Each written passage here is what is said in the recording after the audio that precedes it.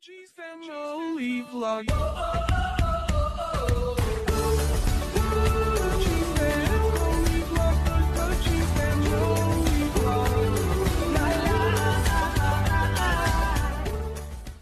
Hi guys, welcome back to the channel. This controller, um, this is my son's controller, guys, and when when he would push up, it would it would stick.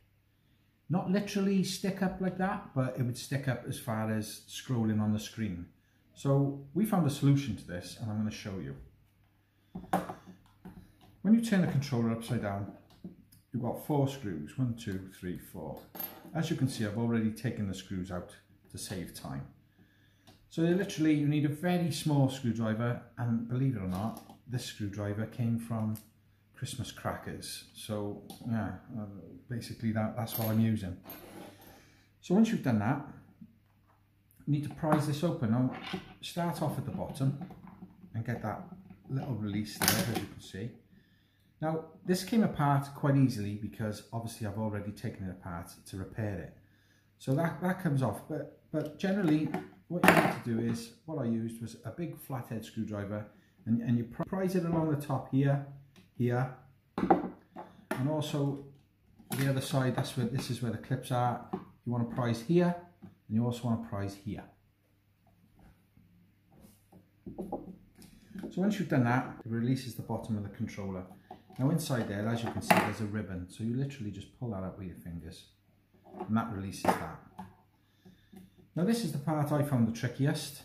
It was getting this out. Now all the other videos just said to me that you just clip it out, but in, in this case, it's not. It's not. You, the battery literally just slides out. Pull the battery out with your fingers. Then you undo this screw here. The same. Um, it's the same screwdriver as you used on the other screws. Right. So you basically just unscrew that and that releases this plate. Take that out and just put it to one side. Basically then you've got another couple of clips. There's a clip here, clip here, basically almost the same as the other side uh, as, get, as getting the bottom off. You, you literally clip, clip, clip.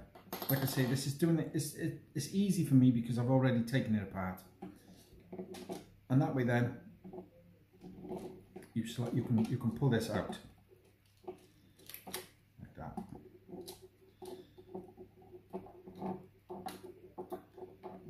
So you pull that out of there. As you can see, pad actually hooks over the top of the controller there, see? So you need to push that through there and that will completely release it. As far as the sticks go, you just pop these off.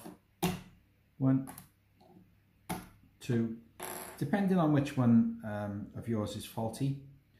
What I did was, I got the hoover, and it was the left stick which was sticking on, on, on this particular controller. So what I did was, I basically just hoovered inside this.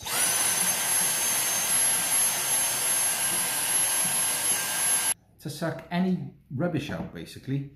Then what I did was, turn it upside down and just flick the controller different ways so that if there's anything inside there stuck it will release. Just give it a little flick we didn't have any problems with the other side but uh, just as well do that whilst whilst you're here. And flick it about. And basically anything that's stuck inside there then will dislodge. Then get your hoover and hoover it again. I chose this fitting because it's got a little brush on the end obviously. And and you can brush, get the bristles inside and suck any rubbish out. Now before we put it back together, obviously we want to put our sticks back on. There's a certain way they need to go on, so just line them up and pop them on. As you can see there, line it up. Just turn it a little bit until it just slots on, easy as peas. Then you grab then you need to, this is the trickiest part of all, is to get this over the top of there. I don't know whether, how oh, well you can see that, but you need to get that over the top of the white uh, bar that's going across the, the uh, actual casing. Once you've once you've done that, the controller literally just gently just pries it back together like that. And then once this is sitting all flush, you then want to flip it back over. Once you flip it over, you literally just push it in, just be gentle. There's nothing there, there's no clips or anything. So just be gentle. If it won't go in, this is obviously not lined up properly. Once you've done that, you literally put that back in there and tighten this screw back up. Now we didn't disconnect the battery. I, I didn't feel the need to disconnect the battery, but that would be straightforward enough. You would literally just pull that out of there, maybe just a little price on that and, and pop that out of there. But like I say, I, I didn't need to do that. And then you have that. Next thing you need to do, another little tricky bit, fiddly bit with your fingers, is get the ribbon back in there. But like I say, it's not it's not too difficult. As you can see, the controller have just come on. The light has just come on there. This little plastic screen here needs to slide in the back and behind there, like that. Pretty straightforward from here, guys. Now you literally clip that back together. Just make sure your buttons are working. Yeah, that's all moving nicely. Now what I did was I took this upstairs to the PlayStation and tried it before I put the screws in, hence the screws being out. So then once you've done that, you literally flip it back over and you put your four screws back in.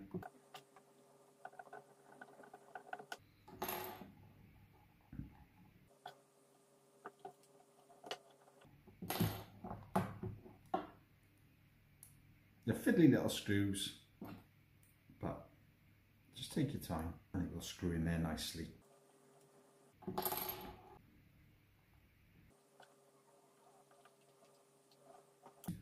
And that is it. Basically, that's it. You have just saved yourself, well, £50 minimum, I would have said. We were just about to order one of these online, and I said to Kai, before we do, let's strip it down and have a look. Basically, the only thing I can think is maybe there was a bit of grit or something stuck inside there, and when you pushed up, it caused it to jam. But it worked for us, guys, 100%, absolutely brilliant. Save £50, job done. Guys, I hope this video was a help to you, and I hope it works for you as well as it did for us. And you can save yourself £50, because at the end of the day, it was the only thing that was wrong with it was this controller here, and that solved it. Just a bit of hoover, a little bit of flicking, and release whatever was stuck inside there. And that's that.